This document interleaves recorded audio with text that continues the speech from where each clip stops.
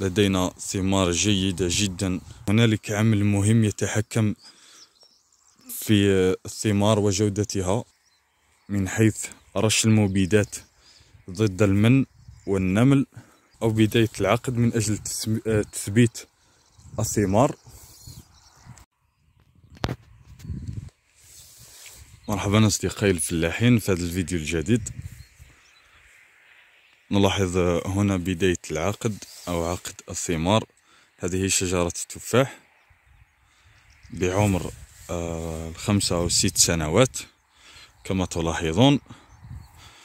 إذا كنت أول مرة تشاهد قناتي لا تنسى الاشتراك في هذه القناة المتواضعة وضغط زر الإعجاب واترك لنا تعليقا جميلا. لدينا ثمار جيدة جدا وممتازة. رغم الظروف الجوية من برودة والتقلبات في درجات الحرارة والفرق الشاسع بين درجات الحرارة في النهار والليل ما يسبب مشاكل في الأوراق. كمثال هنا. وقد وضعت فيديو آخر في الحلقة السابقة نتحدث فيه عن مشكلة احتراق الأوراق وتغير لونها وأيضا تشوه الأوراق بعامل التقلبات الجوية وبالضبط الحرارة. درجة الحرارة. لدينا هنا عقد الثمار يبدو جيد وممتاز. في هذه المرحلة نقوم بالعناية بشجرتنا من حيث رش المبيدات ضد المن والنمل والبياض. أيضا بعد الخامس عشر من شهر ماي تبدأ مرحلة معالجة أو مكافحة الدودة ما يعرف بالبيكاج. هنالك عدة أدوية نقوم برشها كل شهر أو كل أربعين يوم حسب درجة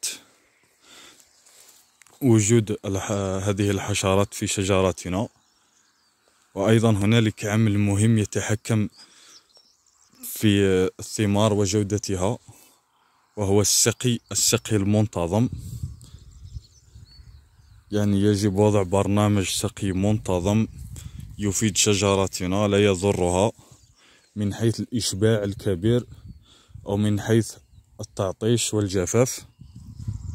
أصدقائي الفلاحين أيضا في هذه المرحلة ومن أجل تثبيت الثمار أنصح برش البور والزنك. كما تعلمون أن البور والزنك يتم رشه حوالي ثلاث إلى أربع مرات في السنة. في كل آه، مرحلة لديها خصائصها وشروطها. وهذه آخر مرة آخر مرة يتم رش فيها الزنك والبور يعني مرحلة العقد أو بداية العقد من أجل آه، تثبيت الثمار. أيضا بعامل بسبب عامل التقلبات الجوية يمكن رش الأحماض الأمينية لشجراتنا من يقوم بالسقي يمكنه وضع مواد عضوية مثل الهيوميك أو الهيوميستار أو التيربو. كل هذه المواد العضوية المفيدة لشجراتنا وأيضا الحديد. لا نكثر من الحديد للأشجار التي لديها تغذية متوازنة لكي لا نضر بشجرتنا وسأقوم في فيديو آخر بشرح كيفية وضع الهيوميك أو المواد العضوية المستخلصة من المواد العضوية وأيضا الحديد وباقي العناصر. أتمنى أن تكون أشجاركم بخير. لا تنسوا أن تتركوا لنا التعليقات في التعليقات جميع تساؤلاتكم واستفساراتكم أو ملاحظاتكم لكي نفيد ونستفيد نحن أيضا. إذا كنت أول مرة تشاهد قناتي لا تنسى الاشتراك في هذه القناة المتواضعة وضغط زر الإعجاب واترك لنا تعليقا جميلا. شكرا لكل من وصل إلى هذه الدقيقة من الفيديو. لا تنسى الاشتراك في القناة ودعمنا بضغط زر الإعجاب. وشكرا لكم جميعا.